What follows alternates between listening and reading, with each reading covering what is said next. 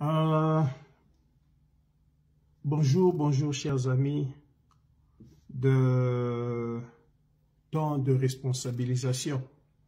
Je disais bonjour et j'insiste bonjour pour ceux qui nous suivent maintenant. Euh, et si vous êtes du côté ouest de, de, la planète, vous vous retrouvez dans le continent américain ou vous êtes vraiment à l'extrême ouest de l'Afrique, comme le Sénégal, vous êtes encore, il est encore 20 midi chez vous, soit il lève à 11 heures, soit à 10 heures, soit encore un peu plus tôt.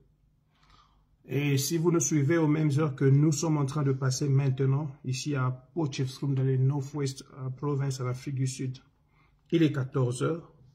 Bon après-midi à vous. Ah, si vous êtes au Congo, à Kinshasa ou à, à Lubumbashi, il est après-midi, il est soit 13 heures ou 14 heures. Et si vous êtes euh, dans l'extrême est de l'Afrique ou de, l'Asie, du continent donc, en Inde, il est déjà 17h30.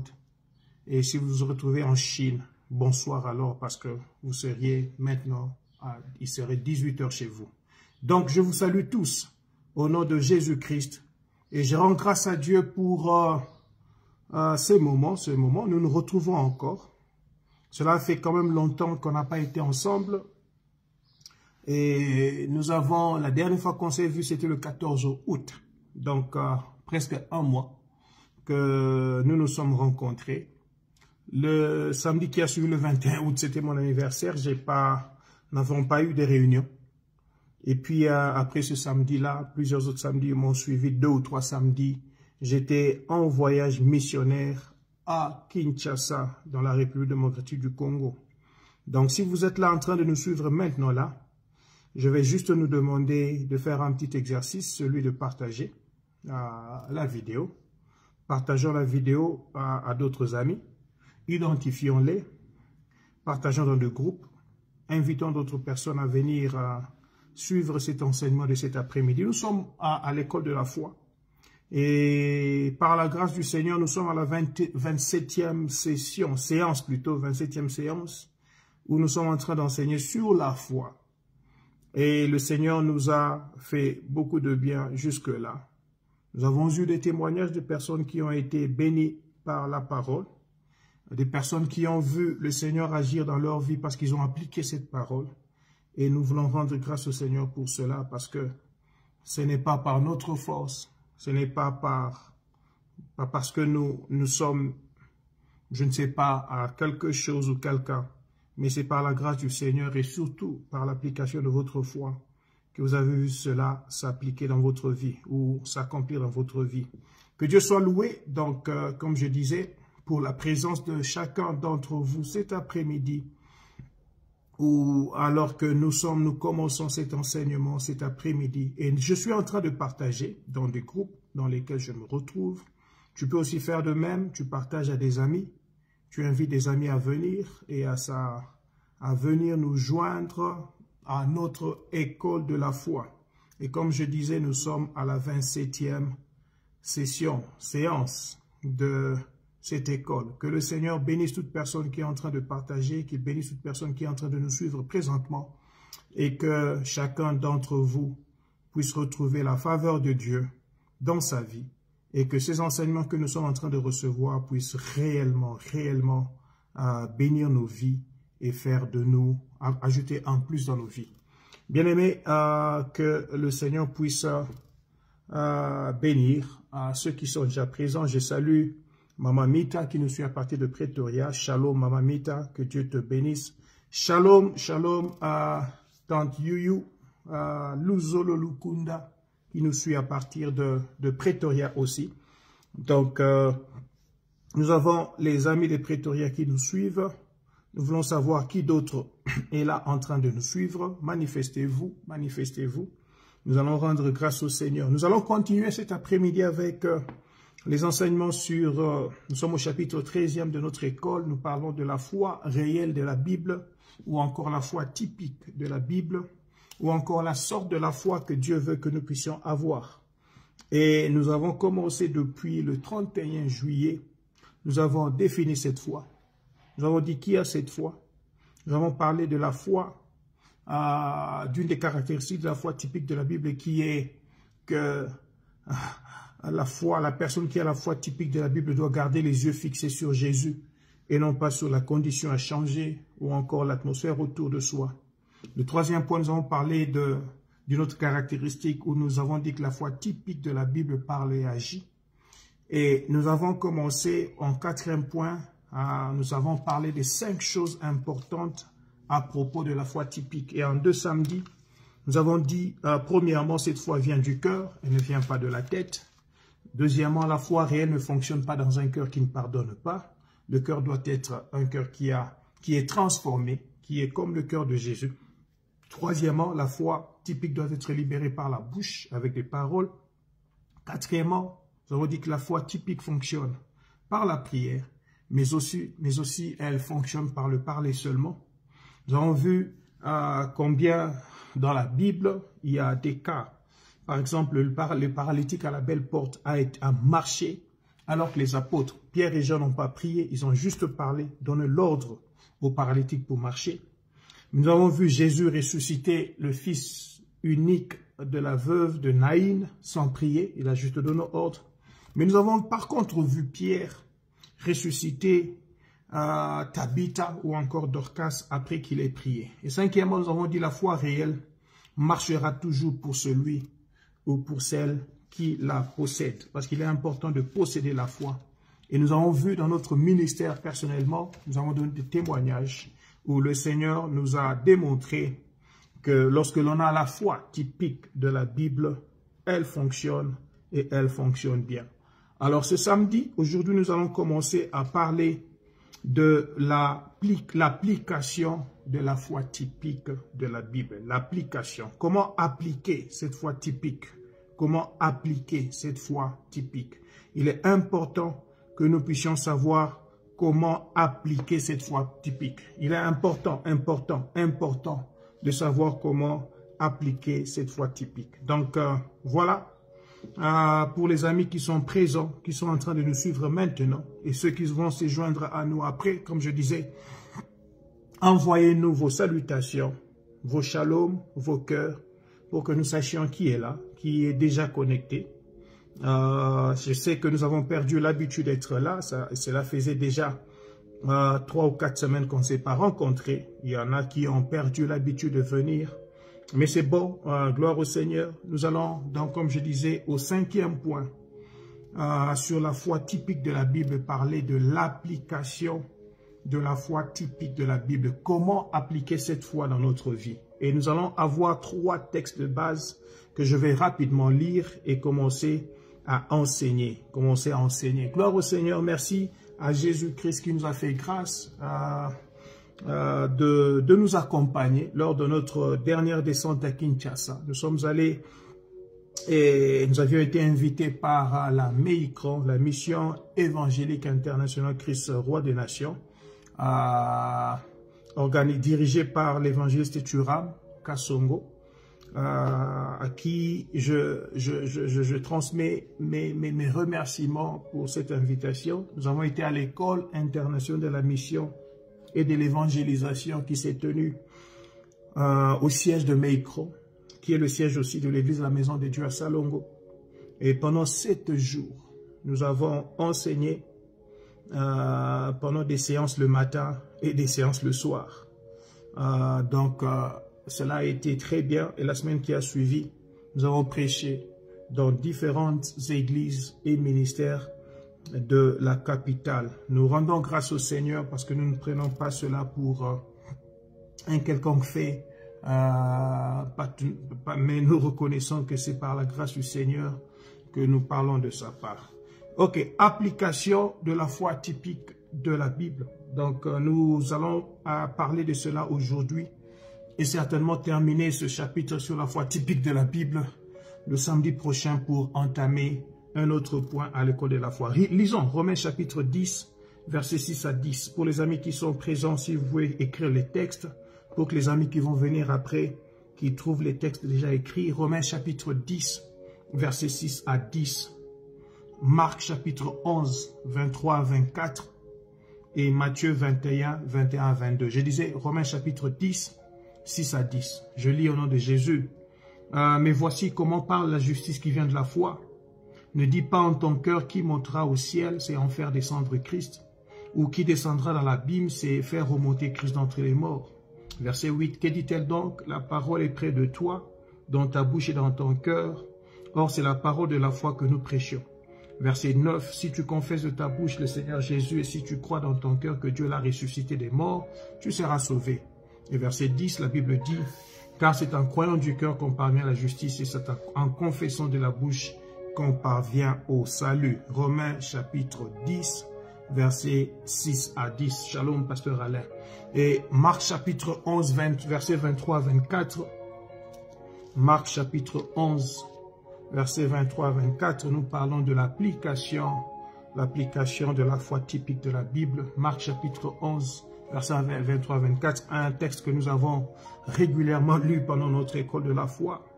Il est écrit, ah, Jésus prit la parole et leur dit, à partir du verset 22, Ayez foi en Dieu. Verset 23, je vous le dis en vérité, si quelqu'un dit à cette montagne, ôte-toi de là et jette-toi dans la mer, et s'il ne doute point en son cœur, mais croit que ce qu'il dit arrive, il le verra s'accomplir. Verset 24, c'est pourquoi je vous le dis, tout ce que vous demanderez en priant, croyez que vous l'avez reçu, et vous le verrez s'accomplir. On peut ajouter maintenant Matthieu chapitre 21, verset 21. C'est exactement le même texte que Marc chapitre 11, mais euh, relaté autrement par un autre évangéliste, Matthieu chapitre 21, verset 21 à 22. Jésus répondit, je vous le dis en vérité, si vous aviez de la foi et que vous ne doutiez point, non seulement que vous feriez ce qui a été fait à ce figuier, mais quand vous diriez à cette montagne, ôte-toi de là et jette-toi la mer, cela se ferait.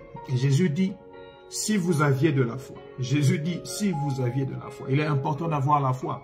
Voilà pourquoi dans Marc chapitre 11, verset 22, il dit, ayez foi en Dieu. C'est important d'avoir foi mais d'avoir foi en Dieu, d'avoir la foi qui est typique euh, dans la Bible, d'avoir la foi à la dimension ou à la manière dont Dieu veut que nous ayons, d'avoir la foi, la sorte de la foi que Dieu veut que nous ayons. Jésus dit, ayez foi en Dieu. Alors Jésus dit aux disciples, à ses disciples, il dit, si vous aviez de la foi, non seulement vous feriez ce que moi j'ai fait à ce figuier, mais plutôt, si vous ne doutez pas, vous parleriez même à la montagne. Bien-aimé dans le Seigneur, la foi typique de la Bible fait des exploits qui existent déjà, mais elle fait encore des exploits qui n'existent pas.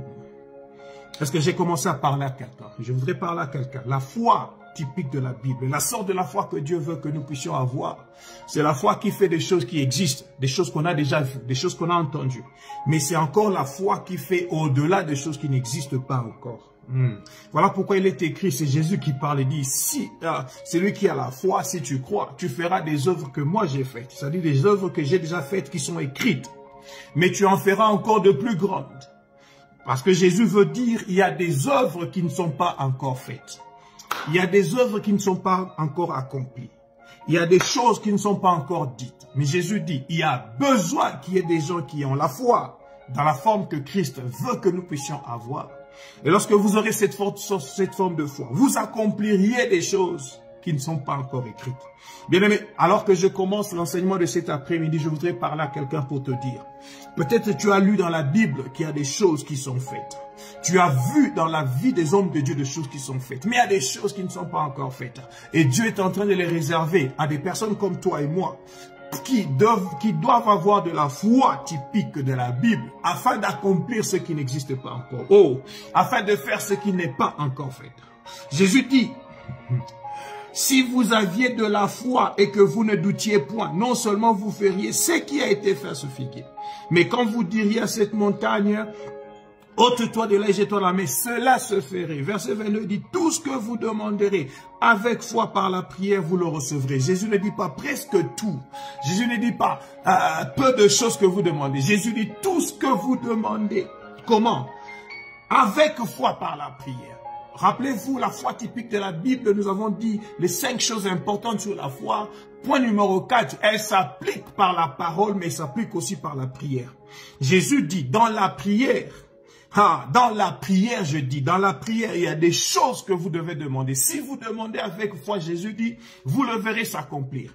Voilà pourquoi j'invite toute personne qui me suit maintenant. Je salue, euh, je vois sœur Marie, euh, ma, mère qui me suit à partir de Fort. J'ai dit, je parle à toute personne qui me suit maintenant. Si tu as la foi typique de la Bible, tu feras non seulement les choses qui sont écrites dans la Bible, mais tu feras même des choses qui ne sont pas écrites dans la Bible. Parce que cette foi produit au-delà, au-delà de ce que nous pouvons imaginer ou penser. Bien aimé, ah, je crois dans mon livre La puissance de la prière, il y a un témoignage que je donne sur une femme qui a été guérie du cancer des seins à distance, alors que nous prions quelque part à Kinshasa. Trois jeunes hommes qui priaient à trois et qui ont prié pour quelqu'un qui se trouvait à Londres avec un cancer qui s'était répandu dans son corps. Et cette personne a été guérie instantanément.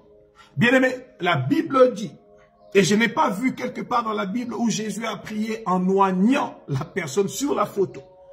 Parce que c'est quelque chose qui n'est pas écrit, mais c'est un résultat de la foi. Oh, bien aimé dans le Seigneur, il est important que tu puisses comprendre avec moi que la foi typique de la Bible est là pour, afin que tu puisses réaliser des choses que l'œil n'a pas encore vues, des choses que l'oreille n'a pas entendues, des choses qui ne sont même pas montées sur le cœur dans le cœur des hommes, mais des choses que toi tu déclares par ta bouche et auxquelles tu crois fermement dans ton cœur que le Seigneur va te les donner.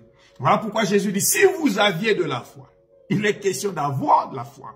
Il est question de posséder la foi. Il est question de pouvoir démontrer qu'on l'a. Et on a la foi en parlant. Hmm.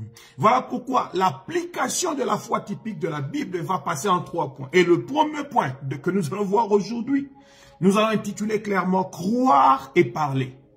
C'est-à-dire, lorsqu'on a cru, rappelez-vous de la cinétique de la foi. Les enseignements que nous sommes en train de donner sont des enseignements qui sont connexes. C'est-à-dire, il n'y a rien qui s'échappe, qui se sépare de l'autre. Nous allons parler de la cinétique de la foi. Je vous ai dit que la foi ne vient pas de ce qu'on écoute. La foi ne vient pas de ce qu'on lit, mais la foi vient de ce qu'on entend. C'est-à-dire tout ce qu'on écoute par l'oreille, tout ce qu'on lit et que l'œil a vu et que le cerveau a enregistré, doit passer par un processus comme la nourriture passe par le processus qu'on appelle digestion, doit passer par le processus appelé méditation, qui est un processus spirituel, au cours duquel ton esprit qui est la, la, partie la plus importante de ton être, parce que tu es esprit, vivant dans un corps ayant une âme, dans lequel ton esprit est en train de tirer le lait ou la crème du lait, en prenant ce qui est Réma, c'est-à-dire la parole qui est révélée par le Seigneur dans ton cœur. Tu entends cela. Entendre venir se mettre d'accord, se mettre d'accord avec cette parole. Quand tu te mets d'accord avec cette parole, il faudrait maintenant que ta bouche puisse parler ou dire, ou encore déclarer publiquement ce que l'on croit, ou encore dire l'objet de sa foi. Voilà pourquoi il est important que ce, cet après-midi, toi et moi, nous puissions appliquer notre foi en parlant. Alléluia. Le premier point d'application de notre foi, c'est croire et parler. C'est-à-dire parler après, après avoir cru. C'est-à-dire c'est un processus normal que tu as. D'abord, tu commences d'abord par croire. Et quand tu crois, tu te mets d'accord avec la parole à laquelle ah, tu t'es mis d'accord, tu te mets d'accord avec cette parole et tu commences à parler. Tu parles, tu parles, tu parles. Bien aimé le Seigneur, aujourd'hui je vais dire, je vais vous parler de croire et parler. Et il y a quatre points importants que je voudrais souligner ici. Premièrement, la parole de Dieu nous a été donnée pour fortifier nos pensées. Pourquoi je dis fortifier nos pensées? Rappelez-vous, je vous disais, euh, rappelez-vous que vos pensées sont encore dans l'âme. Et d'autant plus que votre âme se nourrit des choses que les sens sont en train de lui donner ou encore les organes des sens. C'est-à-dire votre âme accepte ce qu'il voit, ce que les yeux voient, ce que les oreilles entendent, ce que la bouche euh, goûte ou la langue goûte, ce que vos mains touchent ou ce que vous appréhendez. Votre âme arrive à recevoir cette information et transforme cela en pensée. Vous gardez cela dans vos pensées. Et, l'homme normal, les pensées commencent à réfléchir. Parce que tu as appris que tu es malade, ou parce qu'un médecin t'a dit que tu es malade, tu commences à réfléchir sur ce que la maladie peut faire dans ton corps. Tu commences à penser sur ce que la maladie peut faire. On te dit que c'est coronavirus, ça détruit les, les, poumons, et puis c'est le corps entier qui est détruit, et puis tu meurs. Tu commences à penser à cela. Mais écoute ceci. La parole que Dieu nous a donnée a pour but de pouvoir fortifier nos pensées. Et je voudrais bien le dire. Nous devons amener nos pensées en ligne avec la parole de Dieu. Pour que tu puisses entrer dans la vie de foi et posséder la foi typique de la Bible, la sorte de la foi que Dieu veut que tu puisses avoir. Il faut aligner, aligner, je dis aligner tes pensées avec la parole de Dieu. C'est-à-dire tout ce qui n'est pas ce que la parole de Dieu dit. Il faudrait que tu commences à effacer cela de tes pensées. Et ça, c'est le travail de l'esprit qui est renouvelé. Parce que cet esprit-là est renouvelé afin de redevenir ce qu'il a été dans la création première.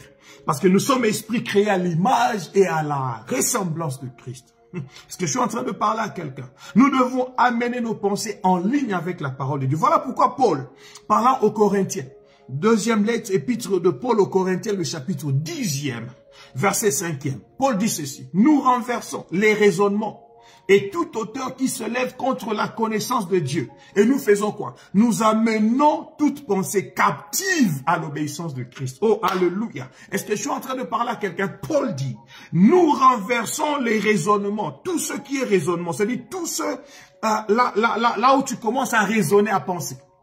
Hmm. Peut-être ces choses vont me tuer. Probablement ces choses ne vont pas marcher. Peut-être, ça ce sont vos pensées, vos raisonnements, vos raisonnements, vos raisonnements, vos raisonnements. Lorsque tu es en train de raisonner, Paul dit ceci, nous renversons les raisonnements, nous venons renverser les raisonnements.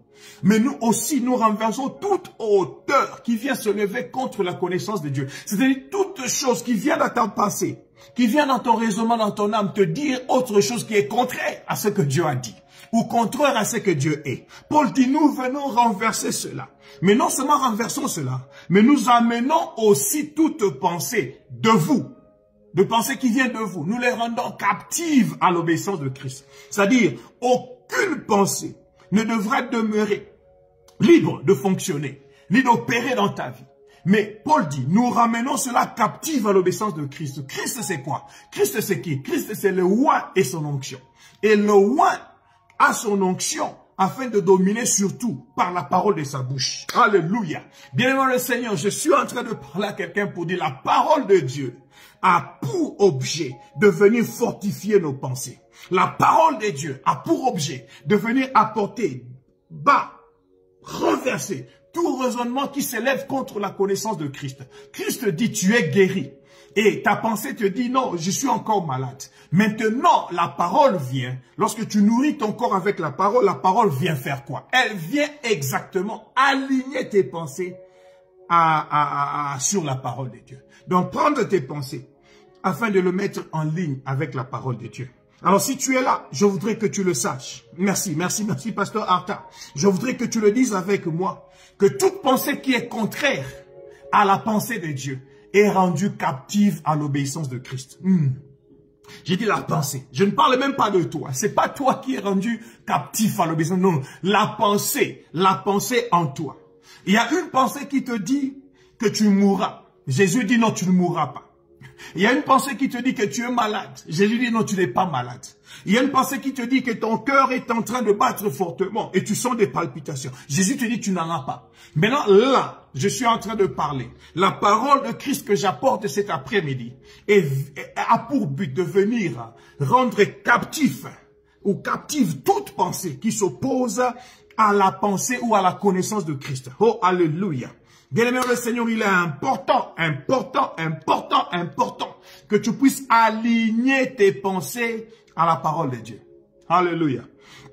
Voilà pourquoi à tout moment que tu es seul et qu'une pensée vole au-dessus de ta tête, il y a quelqu'un qui a dit, on ne peut pas empêcher à un oiseau de voler au-dessus de ma tête. Mais je peux empêcher à l'oiseau de venir construire un nid sur ma tête. Si une pensée peut survoler ma tête, mais quand elle n'est pas de Dieu, je ne la laisse pas passer pour la deuxième fois. Ou je ne la laisse même pas assise sur moi. Parce que immédiatement, je déclare la parole de Dieu, où l'esprit en moi libère la parole qui est dans mon dépôt pour venir détruire la force de cette pensée afin qu'elle soit rendue captive à l'obéissance de Christ. Voilà pourquoi il est important, il est important de lire la parole de Dieu. Il est important d'entendre, d'écouter la parole de Dieu. Il est important de s'asseoir et d'écouter euh, la parole de Dieu. Parce que c'est un dépôt qui entre dans notre esprit et qui passe par le processus de la méditation afin de pouvoir retenir ce pourquoi et avec lequel nous sommes d'accord. Et qui reste comme un réma en moi. Et chaque fois qu'une pensée négative vienne dans ma pensée, un dépôt de la parole sort afin de pouvoir détruire ce qui n'est pas de Dieu. Alléluia. Premièrement, je disais, la parole de Dieu nous a été donnée pour fortifier nos pensées. Quand je parle de fortifier, je parle même d'édifier nos pensées. Quand je parle d'édifier, je parle du mot anglais qui dit build up, c'est-à-dire construire en, élevant au-dessus. Construire en élevant le mur. Construire en élevant quelque chose afin que nous venions à avoir une bâtisse ou un bâtiment qui s'appelle l'être. Un être fortifié dans un corps, dans un corps que nous portons et qui arrive pour nous à déclencher, à déclencher la parole qui est Réma, c'est-à-dire la parole que nous recevons de la parole de Dieu. Bien-aimé le Seigneur, deuxièmement, je veux dire, dans l'application de la foi typique de la Bible, lorsque nous parlons de croire et parler, je voudrais dire, personne ne peut croire au-delà de la connaissance qu'il a de Dieu dans sa parole. Est-ce que je peux répéter cela? Personne, alors personne ne pourra croire au-delà, je dis personne ne peut croire au-delà de la connaissance qu'il a de Dieu dans la parole de Dieu. Ou encore, je peux le dire, personne ne peut croire au-delà de sa connaissance qu'il a de Dieu de par, la, de par sa parole. Il est donc important d'avoir la connaissance de Dieu. Mais regardez ceci. La connaissance que tu as de Dieu te permettra de croire. Mais tu ne croiras que jusqu'au-delà de là où se trouve la connaissance que tu as de Dieu. Tu ne pourras pas croire au-delà de cela. Si tu crois que ton Dieu ne peut guérir que la malaria, si tu crois que ton Dieu ne peut guérir que des maladies qui sont minimes, le jour que tu te retrouves avec une maladie que le médecin a déclarée incurable, tu auras difficile à croire que Jésus va te guérir, à moins que tu n'arrives à augmenter ta foi. Hmm. Il est important que tu puisses comprendre cela. Personne ne peut croire au-delà de la connaissance qu'il a de Dieu de par sa parole. Voyons Romains chapitre 16. Paul, Paul, le dit, Paul le dit bien dans Romains chapitre 16, versets 25 à 26. Personne ne peut croire au-delà de la connaissance qu'il a de Dieu. Oui, et cette connaissance que tu as de Dieu, tu le trouves dans la parole de Dieu. Lorsque Dieu se révèle à toi, tu commences à connaître qui il est. Tu fais ce que Dieu veut que tu fasses et tu vis ce que Dieu veut que tu vives. Voyons Romains chapitre 16, verset 23 à 20, verset 25 à 26. Paul dit ceci, c'est dans ses bénédictions finales qu'il est en train de donner l'église de Rome. Il dit, à celui qui peut vous affermir selon quoi? Mon évangile et selon la prédication de Jésus-Christ, conformément à quoi? Conformément à la révélation du mystère caché pendant des siècles, mais manifesté maintenant par les écrits des prophètes d'après l'ordre du Dieu éternel et porté à la connaissance de toutes les nations. Afin qu'elles fassent quoi? Afin qu'elles obéissent à la foi. Afin qu'elles obéissent à la foi. Paul dit beaucoup de choses. Mais Paul, en disant beaucoup de choses ici, il est en train de dire quoi? Il dit ceci. Romains, vous avez cru à l'évangile que je, vous ai amené. Mais au-delà de l'évangile que j'ai amené, vous avez cru à la prédication de Jésus-Christ. La prédication de Jésus-Christ, c'est le centre de l'évangile que Paul a amené. Paul a parlé, il a même dit, il disait, je ne veux que vous ne, vous ne connaissiez rien d'autre que Jésus-Christ, virgule, Jésus-Christ crucifié. Il parle de la prédication de Jésus-Christ, dont le centre mire, oh, le, le, le, la mire de cet évangile est la mort de Christ. Et alors il dit ceci, l'évangile et la prédication de Jésus-Christ que je vous ai apporté est venu vous affermer, c'est-à-dire rendre votre foi ferme. Mais comment cette fermeté de votre foi ne pouvait arriver que conformément, que seulement de la manière conforme à la révélation, c'est-à-dire à, l'illumination de votre être, être intérieur sur les mystères de Dieu qui ont demeuré, qui demeuraient encore cachés, mais que Dieu vous a révélé par la prédication ou les écrits des prophètes, d'après l'ordre de Dieu éternel et qui a été porté à votre connaissance.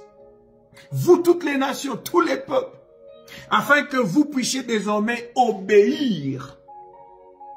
Que vous puissiez désormais obéir à la foi de Dieu, à la foi de Christ, à la foi typique de la parole. Donc ici, je veux dire à quelqu'un, lorsque nous prêchons l'évangile et que tu reçois la prédication de Christ, cela dépend de ce que tu tires de cet évangile, de la révélation que tu reçois des mystères qui sont maintenant révélés, des mystères, les mystères sont encore des, des, des, des ce qui est caché dans la parole de Dieu, qui t'est révélé, ok, que tu reçois désormais par réma, par révélation. Et ce que tu reçois maintenant, fait de toi qui tu es. Tu connais Dieu à partir des, des enseignements des apôtres. Tu connais Dieu à partir de l'évangile que tu lis.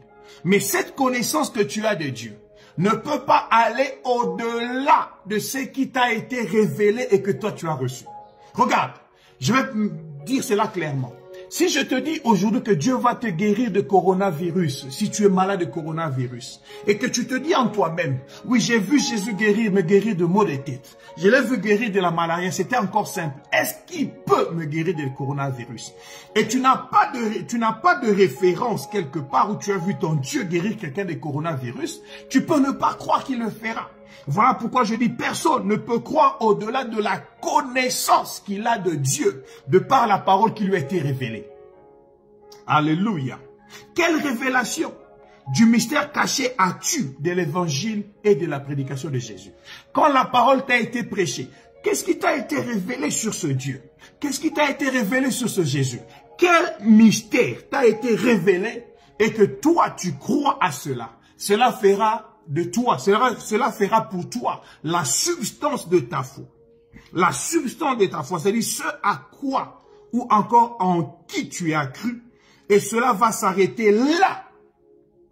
Tu ne peux pas croire au-delà de la connaissance de Dieu que tu as reçu de la parole qui t'a été révélée. Alléluia. Alléluia. Veut dire, cela veut dire, si tu veux augmenter la foi que tu as aujourd'hui, tu l'augmentes en augmentant la connaissance que tu as de Dieu. Hmm. Qu'est-ce que tu dis, pasteur? Je répète encore. Si tu veux augmenter la foi que tu as aujourd'hui, tu l'augmentes en augmentant la connaissance que tu as de Dieu. Plus tu connais Dieu, plus tu as la connaissance de Dieu, plus ta foi augmente par rapport à lui. À un moment donné, je ne connaissais Dieu que jusqu'à un niveau. Je savais qu'il pouvait faire ceci. Jusqu'à ce qu'en 2001-2002, il s'est révélé à moi comme Jehovah Pandangila. Il m'a donné la révélation, ou il a illuminé mes yeux, les yeux de mon cœur, afin que je puisse comprendre et croire qu'il est celui qui est capable de pouvoir ôter tout obstacle devant de moi. Et désormais, lorsque j'ai eu cette connaissance, ma foi a augmenté jusqu'au point de croire qu'il pouvait me faire marier alors que j'étais encore un étudiant. Bien-aimé, je suis en train de dire à quelqu'un, tu ne pourras pas croire au-delà de la connaissance que tu as de Dieu par la parole que tu as reçue de lui. Si tu as reçu une parole qui te montre clairement qu'il peut tout, tu peux croire qu'il peut tout. Mais si la parole qui te dit qu'il peut tout tu l'as seulement écouté, tu ne l'as jamais entendu, c'est-à-dire tu ne t'es jamais mis d'accord avec cette parole, il te sera impossible de croire qu'il peut tout. Alléluia, alléluia. Hmm. Je veux dire à quelqu'un que ta foi s'arrêtera jusqu'au niveau où tu crois, que ta connaissance, jusqu'au niveau où la connaissance de ton Dieu s'arrête. S'arrête. S'arrête. Voilà pourquoi, voilà pourquoi aux Hébreux, Paul dit ceci. Ah, j'ai dit Paul. J'ai toujours cru que c'est Paul qui a écrit la lettre aux Hébreux. Vous, pouvez me le, me, le, prêter mais comme cela. Ou disons, l'auteur du livre des Hébreux dit ceci. Dans Hébreux chapitre 4, lisons ensemble à partir du verset 12. verset 12 au verset 16. Il dit, car la parole de Dieu est vivante et efficace. La parole de Dieu est vivante et efficace. Elle est plus tranchante qu'une épée quelconque à deux tranchants elle est pénétrante jusqu'à partager âme et esprit, jointure et moelle. Elle juge les sentiments et les pensées du cœur. La parole de Dieu, elle est efficace. Écoutez ceci. L'auteur est en train de dire, la parole de Dieu lorsqu'elle vient en moi, elle est tellement efficace, elle est tellement vivante, c'est-à-dire elle n'est pas, n'est pas morte, elle est vivante, elle a la vie. Et elle entre en moi. Elle pénètre dans mon être. Elle est capable de pouvoir séparer l'âme et l'esprit. C'est-à-dire quoi? Elle sépare les pensées que les organes m'ont données des réalités spirituelles que mon être spirituel a captées. Un homme spirituel doit être capable de se dire, ce que je pense maintenant n'est pas de Dieu. Pourquoi? Parce que la parole juge tes pensées. La parole va te dire, hum, ça ce n'est pas de moi, ça c'est toi. La parole va séparer clairement ce qui vient de toi de ce qui vient de Dieu. Elle juge les sentiments et les pensées du cœur. Elle juge les sentiments, c'est-à-dire les choses que toi tu ressens, des choses que toi tu penses, des choses que toi tu appréhendes. Elle les partage tellement clairement pour te dire, hum, ça c'est pas de toi. Et maintenant tu peux rejeter ce qui est à toi et prendre ce qui est de Dieu. Alors je voudrais dire à quelqu'un, la parole de Dieu est capable de pouvoir filtrer en toi, filtrer en toi. Ce qui est de toi va rester afin que ce qui est de Dieu puisse demeurer. Et ce qui est de Dieu, c'est ce qui va édifier ou construire ou encore bâtir ton être spirituel afin que tu produises la foi typique que Dieu veut que tu puisses avoir. Alléluia. Quelqu'un est-il en train de me suivre? La parole de Dieu, elle est tellement efficace qu'on ne peut pas ne pas se permettre de la voir avec soi. Voilà pourquoi je la lis tous les jours. Voilà pourquoi je l'écoute tous les jours. Voilà pourquoi je voudrais la voir tous les jours dans mes pensées. Elle est en train d'apporter un dépôt en moi qui viendra filtrer et enlever ce qui est de moi afin de pouvoir garder ce qui est de Christ. Le verset 13 dit, Nulle créature n'est cachée devant lui, mais tout est nu et découvert, et découvert aux yeux de celui qui, de celui à qui nous devons rendre compte. Verset 14. Ainsi, puisque nous avons un grand souverain sacrificateur qui a traversé les cieux, Jésus, le Fils de Dieu. Écoutez ceci, demeurons fermes dans la foi que nous professons. Demeurons fermes, demeurons fermes, demeurons fermes. Où? Comment? En quoi? Dans la foi que nous professons. Il n'y a pas de foi typique. Il n'y a pas de foi de la Bible si elle n'est pas professée. Professer veut dire déclarer ouvertement une opinion ou une pensée. Professer veut dire déclarer ouvertement, déclarer publiquement une opinion ou encore une pensée. Je disais, la foi typique de la Bible passe par la déclaration publique de choses que nous croyons, de choses auxquelles nous nous sommes mis d'accord. Mais Paul dit maintenant, ou l'auteur des Hébreux dit, demeurons fermes dans la foi que nous confessons. C'est-à-dire, tenons-nous encore fermes dans la foi que nous avons confessée. Ne balbutions pas. Ne soyons pas poussés à gauche et à droite. Ne nous voyons pas être pris au cours de notre foi, mais que nous puissions, à partir du fait que nous avons laissé la parole de Dieu filtrer ce qui est de nous, le laisser au-dessus et prendre, ne prendre que ce qui est de Christ comme fondation de notre vie chrétienne. Déclarons seulement la parole de Dieu. C'est cette parole de Dieu qui entrera en nous, qui sera la fondation afin de nous rendre fermes et solides et commencer à demeurer. À demeurer. Comment je peux dire Inamovible afin que rien ne vienne bouger. Bien-aimé le Seigneur, je parle à quelqu'un pour te dire, déclare ouvertement ce que tu penses. Déclare ouvertement ce que la parole de Dieu est venue laisser en toi comme dépôt après que tu aies enlevé toutes tes pensées. J'ai déclaré ce matin dans hashtag I am a champion. J'ai déclaré, je n'ai pas peur de Covid-19. J'ai déclaré, je n'ai pas peur de Covid-19. Je peux encore le dire tout haut, je n'ai pas peur de Covid-19. Je n'ai pas peur. Psaume chapitre 27, verset 11 dit, euh, L'Éternel est ma lumière, il est mon salut, de qui aurais-je peur? Il est ma forte forteresse, de qui aurais-je peur? Non, l'Éternel est à moi. Il est ma lumière, il éclaire mes ténèbres. Il est mon salut, il me sauve des situations difficiles. Il est ma forteresse, il me protège contre n'importe quoi. Et je peux clairement dire, je n'ai pas peur de coronavirus. Je n'ai pas peur. Je n'ai pas peur de coronavirus parce que je suis vacciné. Je ne le suis même pas. Je ne le suis même pas. Parce que je ne pense pas qu'il y a un quelconque vaccin qui va me protéger contre un virus. Je crois que le meilleur vaccin, c'est Dieu en moi, c'est sa parole en moi. Je le crois, c'est ma foi que je déclare publiquement. C'est mon opinion que j'ai reçue de la parole de Dieu. Je n'ai pas vu Jésus-Christ être vacciné contre une quelconque maladie pour être protégé de maladie. Moi, je suis créé à l'image de Christ. Je suis créé à sa ressemblance. Je fonctionne, je marche comme lui a marché. Je parle comme lui a parlé. Bien-aimé le Seigneur, l'école de la foi nous enseigne ici à appliquer la foi typique de la Bible en parlant et en déclarant publiquement notre opinion sur Dieu. Oh, Alléluia. Oh, Alléluia. Il dit, demeurons fermes dans la foi que nous professons. Quelle foi professes-tu? Quelle foi déclares-tu? Quelle foi publiquement dis-tu?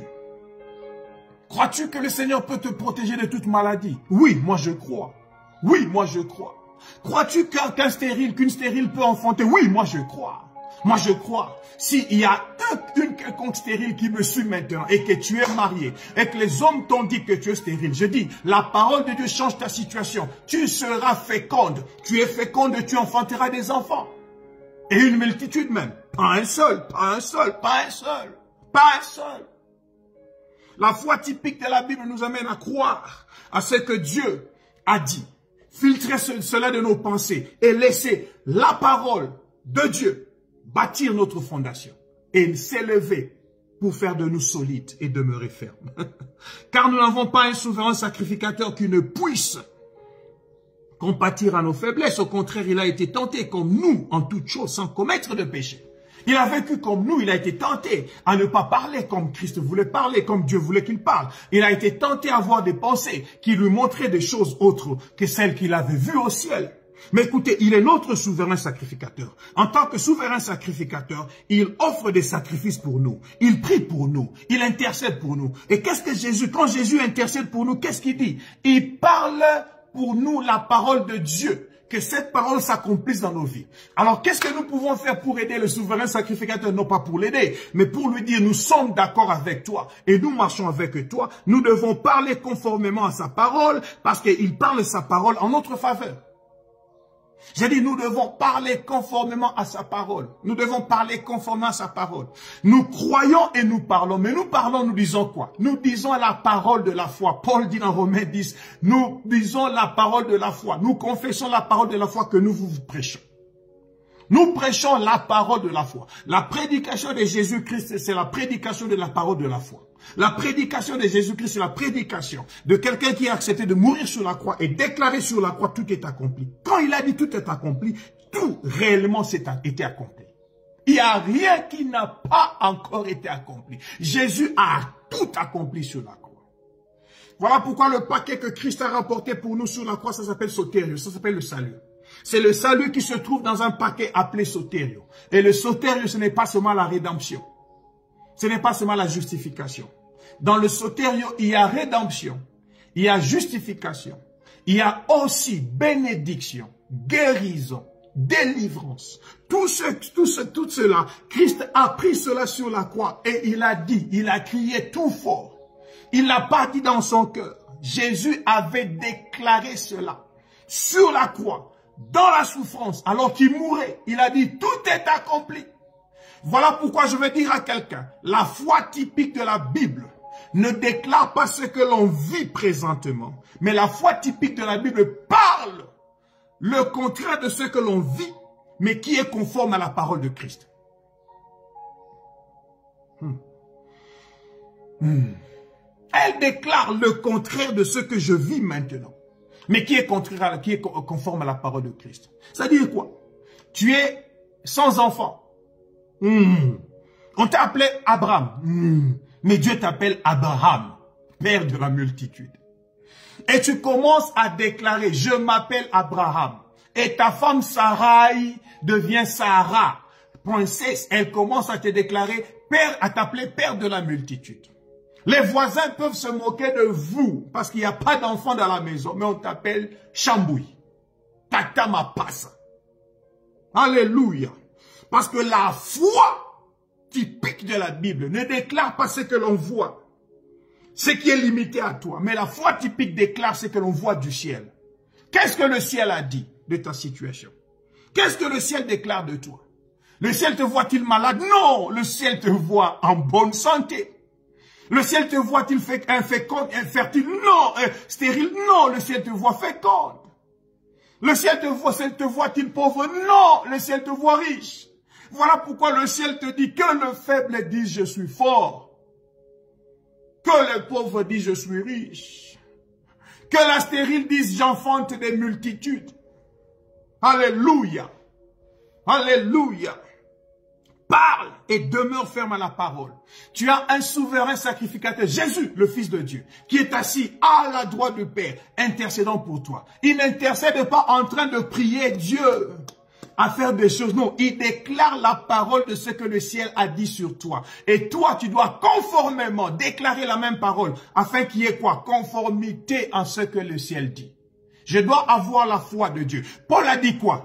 Non, Jésus a dit quoi Marc 11, verset 22 Ayez foi en Dieu. Et je vous ai expliqué la fois passée, le verset en question ne dit pas ayez foi en Dieu, mais ça veut dire exactement ayez la foi de Dieu. Ayez la foi de Dieu. Have the faith of God. Ayez la foi de Dieu. Ayez la foi de Dieu. La foi de Dieu, c'est quelle foi? C'est la foi qui crée là où il n'y a rien. De l'informe et du vide, Dieu voit la forme et le remplit. Qu'est-ce que tu vois de ton informe? Qu'est-ce que tu vois de ton vide? Vois-tu le vide? Ça restera vide. Vois-tu le rempli? Déclare le rempli. Accepte que tu es rempli, déclare-le. Et verset 16 conclut par dire, approchons-nous donc avec assurance du trône de la grâce, afin d'obtenir quoi? Miséricorde et de trouver grâce pour être secouru dans nos besoins. Alléluia. La foi typique nous fait avancer vers le trône avec assurance. Nous ne nous approchons pas vers un étienne avec foi. Nous allons vers un étienne avec notre carte de banque. Tu vas pas recevoir l'argent de la banque avec la foi. Tu y vas avec une carte de banque. Ça dit dans ta carte, là, tu sais qu'il y a une substance, une subsistance. Et quand il y a 500 reines, tu vas avec la carte, tu vas retirer, tu ne pourras retirer que moins de 500 reines ou maximum 500 reines. Mais écoutez ceci. La foi, c'est au-delà de ta carte de banque. La foi te permet d'avancer auprès du trône de la grâce. Écoutez bien, la Bible dit du trône de la grâce. Qu'est-ce que s'appelle le trône de la grâce? Le trône de la grâce, c'est un trône où tu reçois ce que tu n'as pas mérité. Parce que je suis en train de parler à quelqu'un. Le trône de la grâce, c'est un trône où tu reçois ce que tu n'as... Ça s'appelle trône de la grâce, c'est-à-dire ce n'est pas trône du mérite. La carte de la banque, c'est une carte de mérite. On te donne ce que tu as déposé dans ta banque ce que tu as comme valeur dans ta banque. Mais le trône de la grâce ne limite pas ce que tu peux recevoir de lui. Hmm, je voudrais dire à quelqu'un, la foi typique de la Bible t'avance, t'amène à t'approcher du trône de la grâce avec assurance. C'est-à-dire, je vais au trône de la grâce. Où est-ce que tu vas? Je vais au trône de la grâce. Cet après-midi, bien aimé dans le Seigneur, je vous invite au trône de la grâce. Au trône où? De la grâce. La grâce est une faveur imméritée. Tu ne mérites pas avoir des millions, mais au trône de la grâce, tu peux avoir des millions. Tu n'as pas des millions dans ton compte, mais ta foi va te faire imputer cela à justice. Oh, alléluia. Alléluia. Et la justice de Dieu ici n'est pas la justice légale des hommes qui te donne ce que tu mérites. Non, c'est la justice à laquelle Dieu lui-même a signé. Il dit, je déclare cela juste. Ça ne veut pas dire que tu es juste. Ça ne veut pas dire que tu dois recevoir cela. Ça ne veut pas dire que tu mérites cela. Mais quand tu viens au trône de la grâce avec assurance, dit tu viens, comme Jésus dit dans Matthieu 21, verset 22, tout ce que vous demandez avec foi, c'est-à-dire avec foi par la prière, vous le recevez quand vous avancez au trône de la grâce avec foi, avec la foi de Dieu, avec la sorte de la foi que Dieu veut que tu aies, avec la foi typique de la Bible, tu vas recevoir tout. Pourquoi? Parce qu'il a dit, afin d'obtenir miséricorde et de trouver grâce pour être secouru dans tous vos besoins. Hmm, bien-aimé, la foi typique nous fait avancer vers le trône avec assurance, sans aucune peur d'échec, sans aucune peur et aucune peur de manquer, mais de voir nos besoins être tous satisfaits. Pourquoi? Parce qu'au trône de la grâce, nous trouvons grâce et miséricorde. Nous trouvons grâce et miséricorde. C'est-à-dire, c'est que nous méritions avoir qui était négatif, le Père a enlevé cela par le Fils. Et c'est que nous ne méritions pas avoir qui est positif, le Père nous a donné cela par le Fils. Hum, voilà pourquoi la foi typique de la Bible nous garde regardant encore sur Christ pour dire, Christ a déjà tout accompli. Qu'est-ce qu'il me reste encore à faire? Rien, sinon que croire en ce que Christ a déjà fait. Croire en ce que Christ a fait. Crois en ce que Christ a fait. Bien-aimé le Seigneur, je suis en train de parler à quelqu'un, je voudrais terminer par là. Nous allons avec foi. Et le souverain sacrificateur nous se présente auprès du Père en nous présentant grâce et miséricorde. Et c'est impossible que cela ne marche pas. C'est impossible que cela ne marche pas. C'est impossible que cela ne marche pas. Je dis c'est impossible que cela ne marche pas. Parce qu'au trône de la grâce, nous y trouvons grâce et miséricorde. Ah, je voudrais terminer en vous disant ceci. Jésus a dit quelque chose. Voyons cela dans Matthieu chapitre 10, 32 à 33. 10, 32 à 33. 10, 32 à 33. Hmm, au trône de la grâce, nous trouvons grâce et miséricorde. Oui, maman Mita, nous trouvons grâce et miséricorde. Et grâce, c'est la faveur méritée. Des choses que nous ne méritions pas avoir, qui sont positives, que Christ, que Dieu, le Père nous a donné par le Christ. Et miséricorde, ce sont les choses négatives que nous méritions avoir, mais que le Père a ôté par le Christ afin que nous n'ayons pas les maladies, les échecs, les tourments, la punition du péché. Par miséricorde, Dieu a ôté. L'argent, les bénédictions, la guérison, les choses positives, par grâce, Dieu a ajouté. Oh, qu'est-ce que vous, qu'est-ce que, qu'est-ce que, qu'est-ce que, qu'est-ce que vous voulez encore? Approchons-nous avec assurance du trône de grâce. Écoutez ceci, Jésus a dit ceci, et je vais terminer là. Matthieu chapitre 10. Matthieu chapitre 10. Matthieu chapitre 10. Verset 32 à 33. Matthieu chapitre 10. Vous êtes là avec moi, écrivez Matthieu chapitre 10, 32 à 33. Matthieu chapitre 10. Hum, hum. Ça dit quoi? Euh, euh, Merci pasteur Arta. il est écrit ceci. C'est pourquoi quiconque me confessera devant les hommes, je le confesserai aussi devant mon Père qui est dans les cieux. Mais quiconque me reniera devant les hommes, je le renierai aussi devant mon Père qui est dans les cieux. Écoutez ceci, c'est que ce verset veut dire. L'application de ce verset dans la dans l'école de la foi, dans la foi typique. Jésus dit, nous devons le confesser devant les hommes. Rappelez-vous, professer la foi que nous professons. Professons veut dire confesser publiquement une opinion ou une pensée. Maintenant, le secret pour avoir ta foi typique, la foi typique, globale, s'appliquer, c'est de confesser non seulement ce qui est écrit sur Jésus, non seulement ce qui est écrit sur Dieu, mais de confesser Jésus. Je suis en train de dire, le secret primordial, afin de voir ta foi, la foi typique, marcher dans ta vie, c'est de confesser non pas ce qui est écrit sur Jésus, non pas ce qui est écrit sur Dieu, mais de confesser Jésus. De confesser Jésus. Et de le confesser publiquement. Tu dois te lever aujourd'hui et dire à tout le monde, moi je confesse Jésus comme Seigneur et Sauveur. Je confesse Jésus comme le bénisseur de toute famille. Je confesse Jésus comme le seul qui mérite d'être élevé au devant de tout. Je confesse Jésus sur le nom de la maladie. Je confesse Jésus sur coronavirus. Je confesse Jésus étant au-dessus de la vaccination. Et quand tu fais cela, tu sais ce qui arrive? Une confession publique te fera gagner une approbation du trône. Je dis une confession publique de Jésus te fera gagner une approbation du trône. Et quand le trône t'a approuvé, tout ce dont tu as besoin du trône de la grâce, tu le reçois au nom de Jésus. Tout ce que vous demanderez avec foi, par la prière, vous le recevrez. Comment? Si vous aviez de la foi et vous ne doutiez pas. Si vous pouvez confesser Jésus au-dessus de tout, je ne confesse pas d'abord que Jésus est le guérisseur. Je ne confesse pas d'abord que Jésus est le bénisseur. Je ne confesse pas d'abord que Jésus est le sauveur. Je confesse Jésus D'abord, Jésus, Jésus, Jésus, étant Jésus-Christ le roi et son onction. Je confesse Jésus, je parle de Jésus, je dis Jésus, j'aime Jésus, j'adore Jésus. Le niveau le plus élevé de la foi, c'est le niveau d'adoration. Le niveau le plus élevé de la foi typique de Dieu, c'est le niveau d'adoration. Où j'adore un Dieu que je ne vois pas, un Dieu que je n'ai pas touché, mais un, Dieu que mes sens n'ont pas appréhendé, mais que mon sixième sens, le sens de la foi, le spirituel en moi, a appréhendé comme étant Dieu. Et quand je l'adore de tout mon cœur, je peux le déclarer de toute, de toute ma force. Bien-aimé le Seigneur, cet après-midi, je voudrais conclure cet enseignement de ce soir pour vous dire, pour vous dire, pour vous dire, pour vous dire, pour vous dire, pour vous dire, Jésus mérite d'être élevé. Jésus mérite d'être élevé. Il mérite d'être adoré. Et cet après-midi, je voudrais que tu adores Jésus. Moi, je l'appelle Pandangila. Il a ouvert le chemin. Il ouvre le chemin pour moi. Dans mon futur, je sais que quoi qu'il arrive, Pandangila est là. Qui est ton Dieu? Qui est-ce que tu as vu? Quelle révélation tu as reçue de lui? L'application de la foi typique de la Bible commence par croire et parler, dire cela.